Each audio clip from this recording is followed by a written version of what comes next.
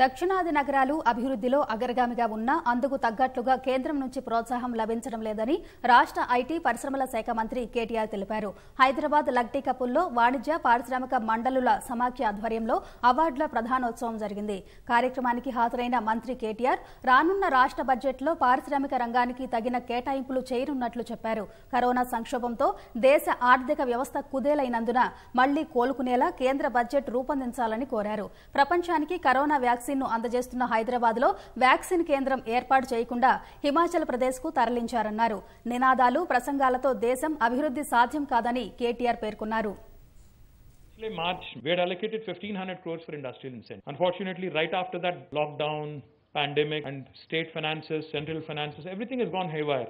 But I assure you, in the upcoming year, in the next budget, we will certainly ensure that all of your industrial incentives are cleared, and I will take it to the notice of the Honorable Chief Minister.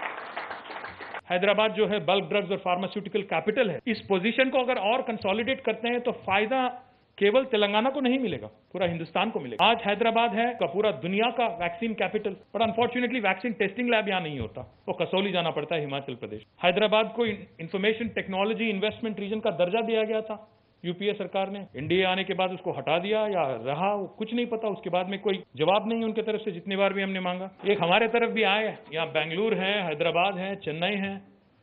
काफ़ी सारे progressive states हैं progressive towns हैं progressive cities हैं। मोदी साहब बार बार कहते हैं, सबका साथ, सबका विकास। बातें काम के रूप में बदल जाएँगे तो ट्रांसलेट होगा रियलिटी में।